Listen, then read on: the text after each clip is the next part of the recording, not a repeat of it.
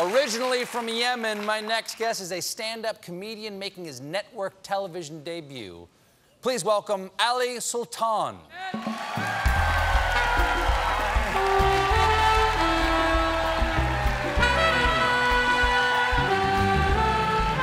Hello! Thank you.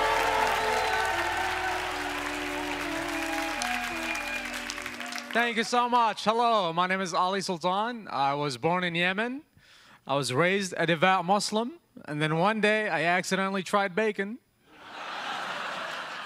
and I found Jesus that day. I found the Lord. you know how people say psychedelics expand your mind? Bacon was my mushroom.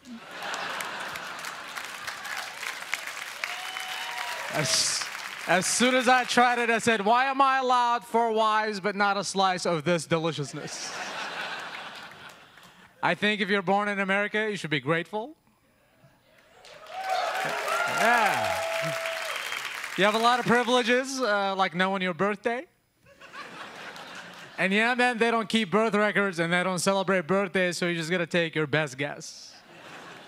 And I finally asked my mom when I was 14 or 9, I said, Mom, when was I born? And she said, You were born when we got the cat. I said, When did you get the cat? She said, That's when your uncle got diabetes. and that's how I learned that time was relative. The relative is my diabetic uncle. Thank you. My mother uh, recently got married. It's her fourth marriage because she's not a quitter. and I said, Congrats, mom. You're the first Muslim woman to have four husbands. You're the Rosa Parks of the Middle East right now. Go get them. My stepdad has been around the country for about a couple years and he's already like learned so much. And in two years, he's learned how to speak English. Uh, he learned how to drive and how to ice skate for some reason. and he's a nice guy. He pulled me aside knowing that I grew up without a father, and he said, Ali, I want you to know that you are my son. And I said, No, thank you. I am 30, I think.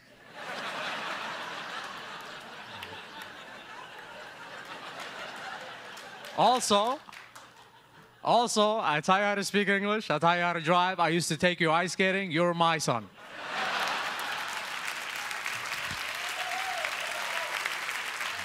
Go clean your room. I immigrated when I was 15, and when I got here, I had to take ESL classes.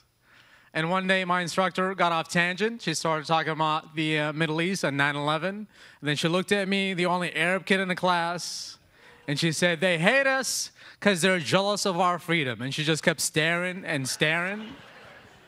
And that made me uncomfortable. And when I'm uncomfortable, I laugh.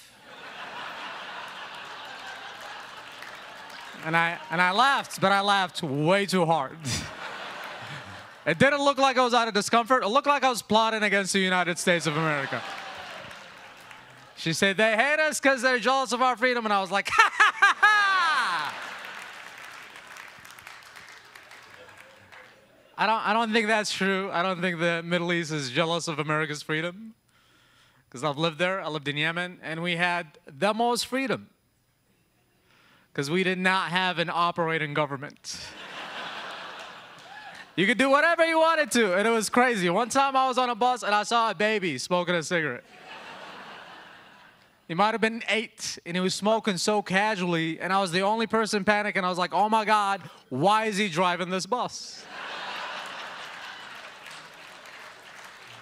We're gonna die. That's why my favorite thing about America is not freedom, it's rules and regulations. I don't want to live in a place where an accountant can have a bazooka.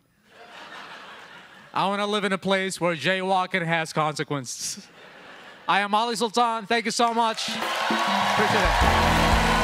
He's headlining the Comedy Fort in Fort Collins on July 15th, and you can find him on Twitter at Ali Sultan Comedy. Ali Sultan, everybody. We'll be right back.